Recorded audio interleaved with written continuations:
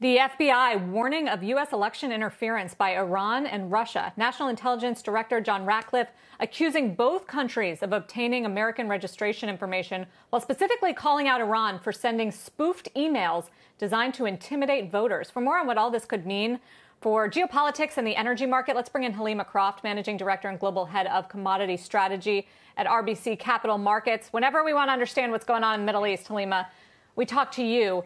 On Iran specifically, first of all, what, what do you think they're after, and, and how does the U.S. election and U.S. policy toward Iran influence the energy market? This maximum pressure campaign from Trump administration has really cut down Iranian crude exports.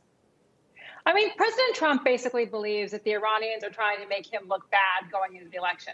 Others are saying it's a generalized attempt to discredit American democracy and sow doubt about election outcomes, kind of similar to the Russian strategy. I think the big issue on Iranian exports is if Trump is reelected, I think we're going to see more of maximum pressure, which is just upping the pain on the Iranian regime and on the sort of country. And the question is, does that eventually bring them back to the table? With a Biden administration, we really could be looking at a re entry into the Iranian nuclear deal that could potentially bring about a million extra barrels of Iranian crude back onto the market in the back half of the year. So I think the election really does matter in terms of Iranian barrels potentially getting back onto the market. I don't think this story today would derail the Biden re entry into JCPOA, but it's just something we would have to watch. Shepard Smith here. Thanks for watching CNBC on YouTube.